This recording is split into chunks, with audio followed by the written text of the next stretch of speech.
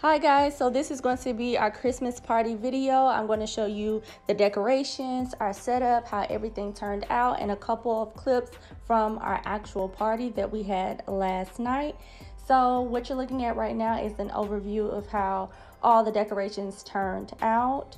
Now on each chair, I laid out each child pajamas and their Santa hat. This is our hot chocolate, our gingerbread house, and this is what their little mugs look like for the hot chocolate. And this is everything there. We have our Santa mailbox letters to Santa because we did write letters to Santa last night and some of the activities that we did because we did not get to everything. So this is the way it turned out. I put some of those snowflakes on the table. The scene setters are from Party City, and we went with a snowman theme for the party. So I loved how everything turned out. It was very pretty and nice.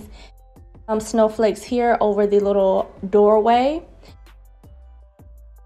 And I ended up moving that light up Noel sign on our countertop over on that area. So now I'm going to show you all a close-up of what the scene setter looks like.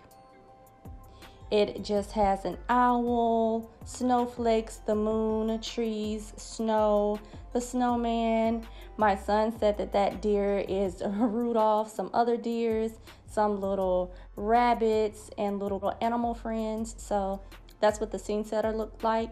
And then in that area there, I'm going to put another scene setter where we stood in front of and took pictures.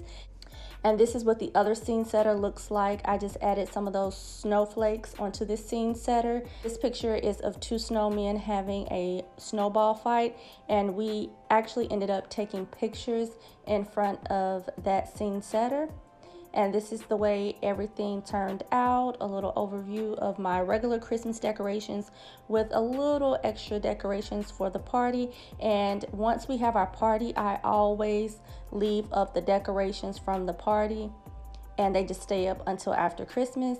These are some of the sweets that we had at our party. We had cupcakes and we had cookies. And my son requested blue cookies and red and green cupcakes and these are some clips from us at the party, making our little characters, making the gingerbread house. So I thought it would be fun to include some of those clips. The kids pretty much ate everything off of the gingerbread house as we were making it. This is the way our little paper mache Christmas tree turned out. We did not use any paint.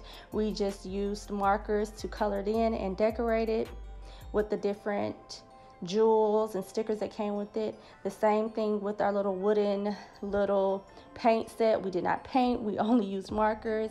And this is the way our little character banner turned out with the reindeers, Christmas trees, and different Santas.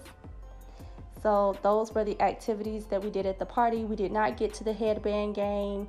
We did not get to the hot chocolate. So tonight on Christmas Eve, we're gonna be doing those things. We did write letters to Santa and this is pretty much what they said, their name, age, what they want, and their favorite reindeer. And then these are other sweet treats that we did throughout the Christmas season that I did not get a chance to put up for you all. So I just included those here. So tonight, for Christmas Eve, we are going to do our headbands game. We're going to make hot chocolate. We're going to make s'mores.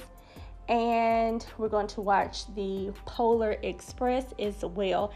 So everything we didn't get to last night, we're doing tonight, plus our normal Christmas Eve activities. And all of those things that are not included in this video will be included in my after Christmas video with the kids' toys and things like that.